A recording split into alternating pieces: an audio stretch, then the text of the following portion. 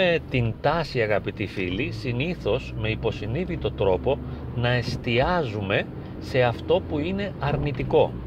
Όταν διαβάζουμε ας πούμε ένα κείμενο όταν βλέπουμε μια ταινία ή όταν ακούμε το συνομιλητή μας λέει διάφορα πράγματα.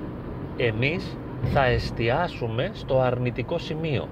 Εκείνο δηλαδή το οποίο θα πυροδοτήσει μέσα μας το άγχος μπορεί να πει πολλά πράγματα ή να κάνει πολλά πράγματα αλλά εμείς θα μείνουμε σε εκείνο το σημείο το οποίο μας προκάλεσε ένα έντονο αρνητικό συνέστημα. Έρχεται να αγγίξει ο λόγος ή η συμπεριφορά ή ένα οποιοδήποτε δρόμενο ένα ευαίσθητο σημείο μας. Και την ώρα που θα αγγίξει το ευαίσθητο σημείο παπ εμείς μαγκώνουμε εκεί πέρα δεν μπορούμε να πάμε παραπέρα θολώνεται το πεδίο το αντιληπτικό και εστιάζουμε μόνο σε αυτό το σημείο σαν να είπε ο άλλος ή να εννοούσε ή να είχε την πρόθεση να μας πειράξει, να μας ενοχλήσει.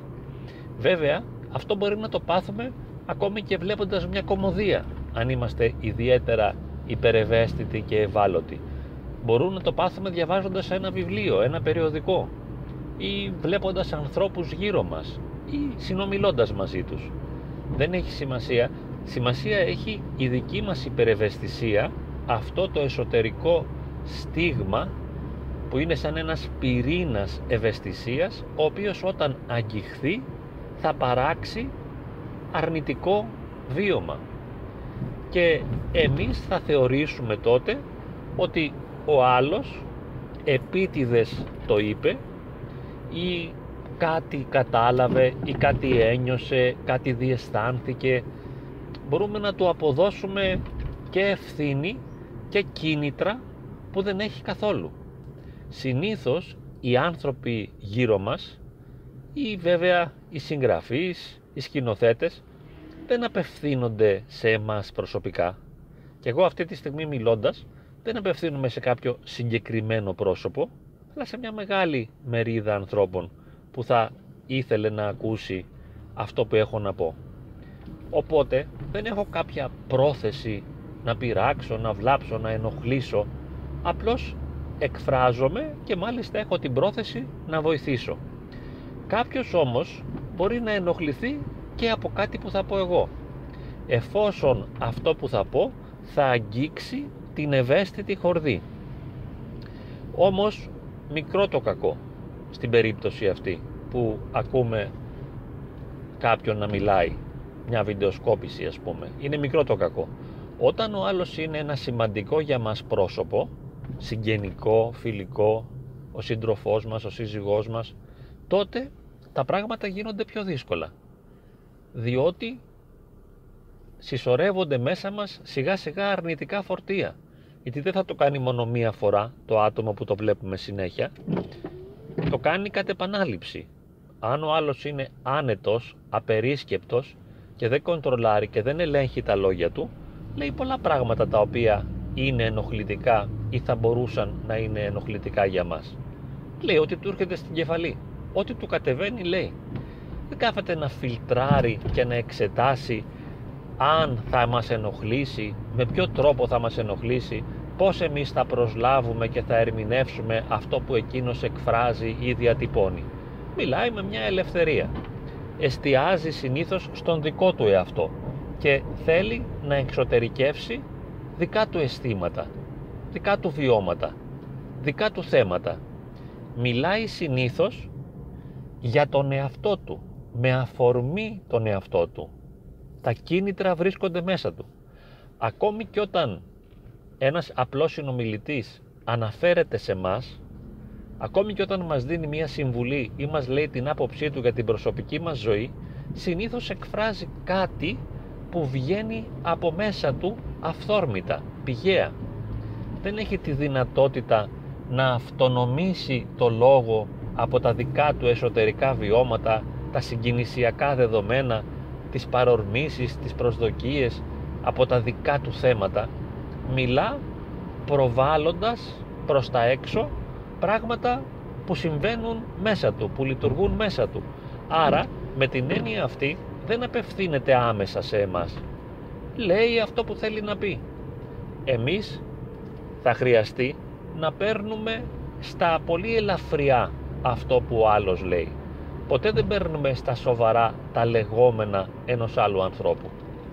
Λέμε μα είπε αυτό το πράγμα και ξέρω εγώ τι εννοούσε. Ξέρω τι ήθελε να πει. Ήθελε να με κριτικάρει για αυτή τη συμπεριφορά ή αναγνώρισε αυτή μου την αδυναμία ή κατάλαβε ότι έχω αυτό το αρνητικό χαρακτηριστικό προσωπικότητας θέλησε να με θίξει αυτό θα συμβεί μόνο όταν έχει θυμώσει μαζί σου και θα το κάνει για να μεταβιβάσει σε σένα τα δικά του αρνητικά αισθήματα. Δεν το κάνει για άλλο λόγο. Αυτός δεν θέλει να σε πειράξει εσένα γιατί να σε ενοχλήσει. Δεν έχει λόγο να βλάψει εσένα. Μιλάει μόνο για τον εαυτό του. Αν εσύ βλάπτεσαι αυτό είναι ένα δικό σου θέμα. Και επειδή δεν σε συμφέρει γι' αυτό και κάνουμε αυτή τη συζήτηση σήμερα. Δεν με συμφέρει να μαγκώνω και να σκαλώνω στα λόγια του άλλου. Τον αφήνω ελεύθερο να λέει ό,τι θέλει και δεν με ενδιαφέρει. Ξέροντας ότι όταν αναφέρεται σε μένα συνήθως κάνει δικές του ψυχικές προβολές, προβάλλει επάνω μου δικά του εσωτερικά περιεχόμενα, άρα αυτό δεν με ενδιαφέρει καθόλου. Εάν οργιστεί ή θυμώσει ή με μαλώσει εκτονώνει το δικό του θυμό, τη δική του οργή, δεν είναι ότι απευθύνεται έλογα σε εμένα, δεν έχει φιλτράρει με τη λογική του τα μηνύματα ώστε να θέλει να μου μεταγγίσει ένα συγκεκριμένο νόημα, όταν θυμώσει ή οργιστεί, πυροβολεί, εκτονώνεται, βγάζει τις εντάσεις από μέσα του, άρα και πάλι δεν το παίρνω στα σοβαρά. Οπότε λειτουργώ χαλαρά, δεν με ενδιαφέρει. Αυτό που διαβάζω, που βλέπω, που ακούω, που παρατηρώ, το παίρνω πάντοτε χαλαρά, ήσυχα. Δεν μετράω τις μετρητής τα πράγματα. Δεν μένω στο γράμμα αυτό που θέλει να μου πει, στη λεπτομέρεια. Αντιμετωπίζω τα πράγματα με μια χαλαρότητα, με μια ελευθερία, ξέροντας ότι αν εστιάζω, αν ανησυχώ και αν αγχώνομαι, αυτό οφείλεται σε δικές μου εσωτερικές ανασφάλειες. Το καταλαβαίνω εγώ. Είναι δικά μου θέματα. Αναλαμβάνω την ευθύνη. Δεν φταίει ο άλλος. Εκτός όμως από τη χαλαρότητα, τι άλλο μπορούμε να κάνουμε; Μπορούμε να εστιάζουμε στη θετική πλευρά των πραγμάτων. Και ακόμη και αν δεν φαίνεται να είναι θετική, μπορώ να την ανακαλύψω εγώ. Ακόμη και όταν άλλος μου φωνάζει, με μαλώνει, μου κάνει αυστηρές παρατηρήσεις, μπορώ να σκεφτώ μέσα μου, είδες αυτός ο άνθρωπος πόσο στεναχωρεμένος είναι αυτή τη στιγμή, πόσο ταραγμένος είναι και νιώθει την ανάγκη να εκτονώσει τα αρνητικά του συναισθήματα. Ε, είναι ταλέπορος αυτή τη στιγμή. Πάσχει, υποφέρει, ταλαιπωρείται. Δεν τα λέει για μένα, δεν κυριολεκτεί. Έτσι μπορώ να χαλαρώσω. Ή τώρα που μιλάω εγώ, λέω κάποια πράγματα τα οποία μπορεί να σας βρίσκουν σε διαφωνία. Δεν συμφωνούμε με αυτό που λες. Πάρα πολύ ωραία. Κανένα πρόβλημα. Αυτό είναι φυσικό. Εύλογο. Να μην συμφωνείτε. Κάτι που είπες δεν μου αρέσει. Κανένα πρόβλημα. Άστο να πέσει. Μην κολλήσεις σε αυτό που είπα και δεν σου αρέσει. Κάτι που είπες με πλήγωσε. Άστο να πέσει κάτω μείνε σε κάτι θετικό. Αναζήτησε. Ανάμεσα σε αυτά τα αρνητικά πράγματα που είπα, σε όλα τα ενοχλητικά, σε αυτά που δεν σου αρέσουν, μήπως υπάρχει και κάτι θετικό; Και κράτα αυτό. Θα μου πείτε δεν μπορώ. Εντάξει, κατανοητό, δεν επιβάλλουμε σε κάποιον να το κάνει. Είναι μία πρόταση.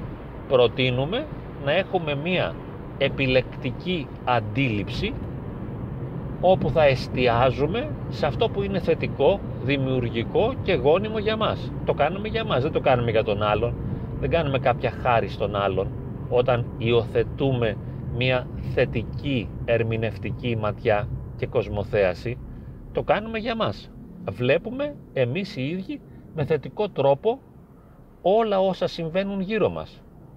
Το κάθε τι. Τα πιο απλά πράγματα. Ακόμη και όταν έχει κίνηση γιατί να εκνευριστώ με την κίνηση; κάνω μία βιντεοσκόπηση, ακούω μία, τηλεφο... μία ραδιοφωνική εκπομπή, έχω αγαπημένη μου μουσική στο κινητό και την ακούω και εστιάζω σε αυτό και λέω τι ωραία ευκαιρία χαλάρωσης σε αυτή τη διαδρομή και με οτιδήποτε και σε οτιδήποτε μπορώ να εξασκηθώ ώστε να ανακαλύπτω μια θετική πλευρά. Γεγονός το οποίο θα με βοηθά να νιώθω καλύτερα. Ιδιαίτερα στις σχέσεις μου με τους άλλους, αλλά και στα γεγονότα που συμβαίνουν και στις σκέψεις και στα αισθήματα που βιώνω εγώ ο ίδιος ή σκέπτομαι. Μου ήρθαν αρνητικές σκέψεις, άστες να φύγουν, δεν θα περάσει και μια θετική. Θα μείνω όσο μπορώ και θα εστιάσω σε αυτήν. Έχω ένα σωρό αρνητικά αισθήματα ή προβλήματα. Ωραία, είναι μια πραγματικότητα. Δεν υπάρχει κάτι θετικό. Ας πούμε, μου πονάνε τα πόδια μου. Ναι, αλλά δεν μου πονάνε τα χέρια μου. Εστιάζω όσο μπορώ σε αυτό. Με πονάει το κεφάλι μου, αλλά δεν με πονάει η πλάτη μου.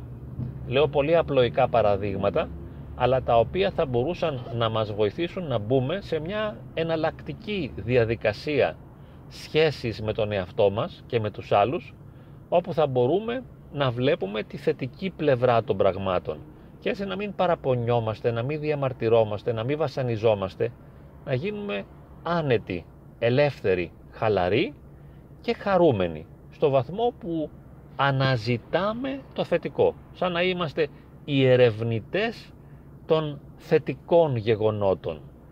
Αναζητάμε να εστιάσουμε σε κάτι θετικό. Θα το βρούμε. Οπουδήποτε κι αν είμαστε. Και εγώ εδώ πέρα βλέπω μια ωραία τοιχογραφία που έχει φτιάξει κάποιος στον τοίχο απέναντί μου. Μπορώ να το δω αυτό. Είναι ένα έργο τέχνης. Βλέπω αυτό. Κάθε φορά εστιάζουμε στη θετικότητα ώστε να υποστηρίζουμε και να βοηθάμε τον εαυτό μας να νιώθει καλύτερα. Γιατί με αυτόν τον τρόπο υπό μία έννοια κατασκευάζουμε εμείς οι ίδιοι την χαρά και την ευτυχία στην προσωπική μας ζωή. Δεν περιμένουμε να μας προσφερθεί. Είναι κάτι που το καλλιεργούμε εμείς οι ίδιοι και το δημιουργούμε εμείς οι ίδιοι. Ας κάνουμε όλη αυτή την προσπάθεια να είμαστε θετικοί